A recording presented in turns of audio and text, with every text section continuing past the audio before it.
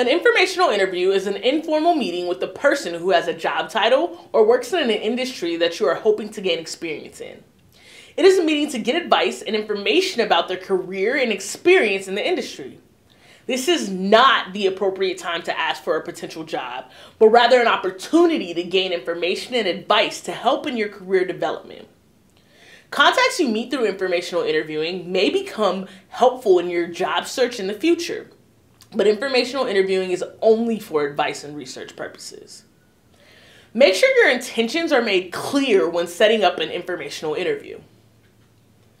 It may be a good idea to conduct an informational interview if you would like to gain insight into a career field or organization, to learn the jargon and important issues in the field, to gain a good sense of the workplace environment, to gain information that can form the basis for making a career decision to receive candid information that may be difficult to otherwise obtain, to learn from knowledgeable people about how to best prepare for particular careers, and to develop a new professional contact that could be helpful for you in the future.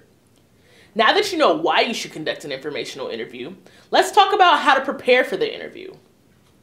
First, learn as much as you can about the organization or career field you are interested in through research. You can use your career platform, Handshake, where you can research specific employers or search in the mentor section where you can find Sun Devil alumni. LinkedIn's alumni search tool is also great for finding ASU alumni who work in various organizations. Glassdoor is a great resource to gain feedback about an organization and see how current or past employees feel about the organization. Also, think about all of your contacts, then expand your list by speaking to and researching starting with your friends and family, college instructors, co-workers, fellow students, alumni, etc. Next, you can research out to employees within the organization you have identified as being interested in through LinkedIn or by simply emailing them. Then develop questions that you would like to ask the professional you are interviewing.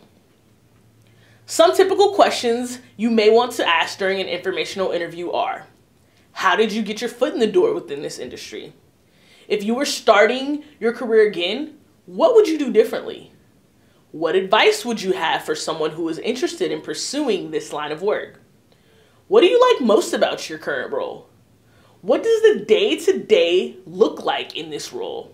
Or how do you spend 90% of your workday? What is the culture of your organization? What are some challenges in your current role? What has your career path been from college to present? Could you give me names of other people that might be able to offer insight and additional information? If so, could I possibly use your name as a referral? If you would like more information on how to conduct an informational interview, you can set up an appointment through Handshake or come into our walk-in hours.